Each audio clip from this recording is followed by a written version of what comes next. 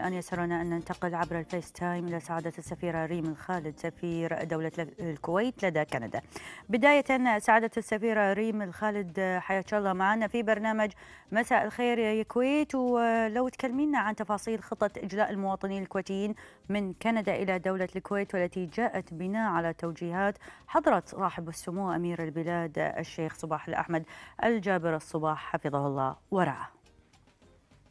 مساكم الله بالخير. أختي مشاعل اولا مبارك عليكم الشهر وعساكم من عوادة. مثل ما تفضلتي بناء على رغبة حضرة صاحب السمو الله يحفظه بأن أبناء في الخارج يعودون إلى أرض الوطن الغالي. وبناء على توجيهات من معالي وزير الخارجية ونائب وزير الخارجية قمنا ب خطة إجلاء على عدة مراحل. بدأت هذه الخطة منذ منتصف شهر مارس وذلك بتشكيل لجنة طوارئ وحصر أعداد كل المواطنين والطلبة والأطباء المتواجدين في كندا. مثل ما أنت عارفة كندا قارة كبيرة بالمساحة تأتي بالمرتبة الثانية بعد روسيا. وهي مترامية الأطراف وفيها عشر عشر مقاطعات نعم. ما بين الغرب والوسط والشرق. فبعد ما تم حصر الأسماء تم التواصل مع جميع المواطنين وجميع الطلبة والأطباء. وبالتالي وضع خطة مناسبة لعملية الإجلاء.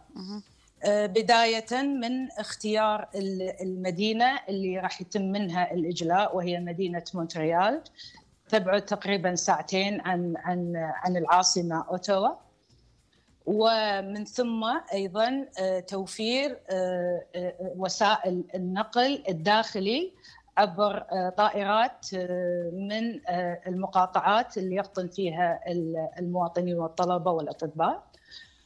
بحيث يتم تخصيص فندقين لهم بداية في العاصمة أوتوا للقاطنين في أوتوا وأيضا لنقل كافة المواطنين والطلبة إلى مدينة مونتريال وتخصيص الفندقين فندق كامل مخصص لهم وقسمناهم إلى فنادق للطلبة الشباب وإلى الطالبات وأيضا العائلات.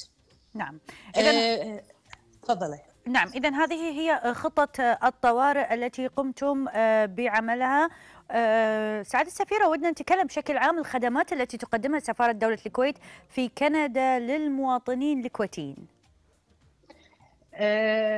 طبعا الجهود اللي قامت فيها السفارة جهود جدا جبارة وبفريق مشكل من طواقم دبلوماسية ومحلية.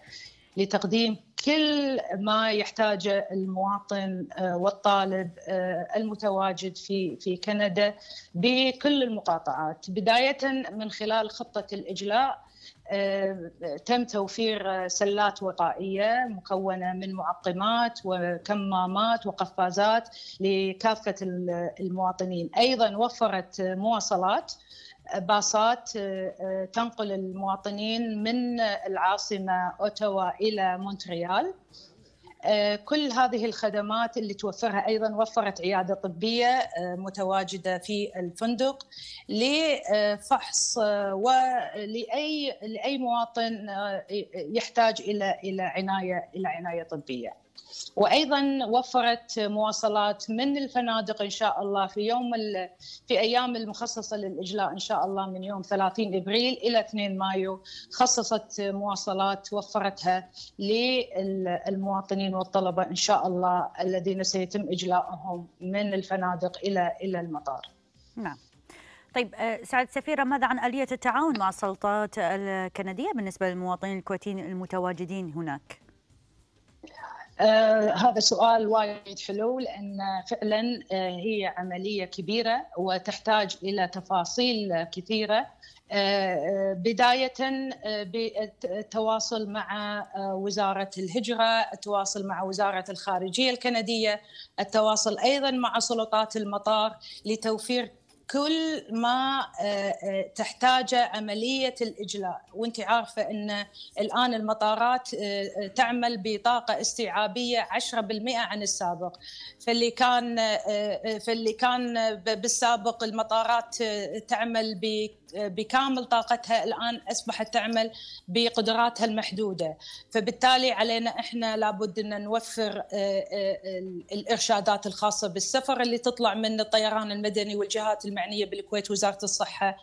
لازم تكون الجهات الكندية على على دراية بهذه الإرشادات.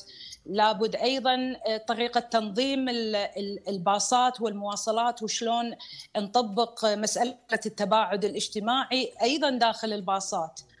فحتى في الطائرات يكون فيها الحرص على مسألة التباعد الاجتماعي. كيف يتحرك الركاب أو المواطنين؟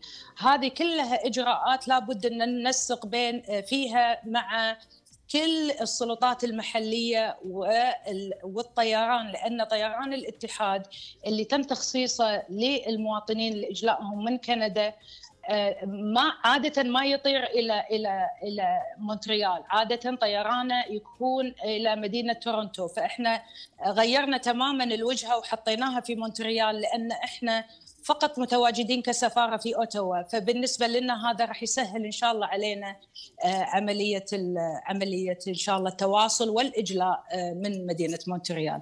سعادة السفيرة قواكم الله. يعني في ختام هذا اللقاء حابة توجهين رسالة معينة أو كلمة أخيرة؟ تفضلي. شكرا أختي مشاعل على أنك أنت أعطيتيني الفرصة لتوجيه رسالة. اولا الرساله اللي أوجهها إلى المواطنين والطلبة. بشعورهم العالي وإحساسهم الكبير بالمسؤولية، تواصلهم معنا وتسجيلهم في في تطبيق منصة انتظامهم في في مسألة الإجلاء. أمانة هذا يشعرني بالفخر ويعطيني مزيد من الاطمئنان لعملية إن شاء الله الإجلاء اللي راح تتم إن شاء الله بتوفيق من الله سبحانه وتعالى. آمين يا رب العالمين وإن شاء الله يوصلون بالسلامه كل الشكر لسعادة السفيرة